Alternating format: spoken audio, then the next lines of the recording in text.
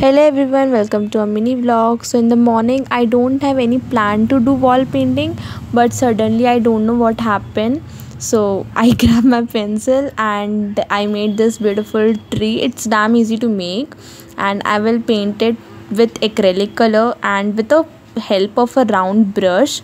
Yeah it's very easy to do i think so and everybody can do this. Afterwards i will draw some cute little heart with red acrylic color all over the tree and it will enhance the look of the drawing.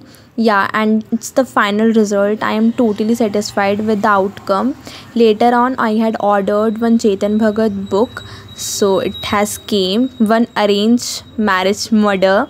And it is a totally interesting book i think so. And i love thrillers so bye bye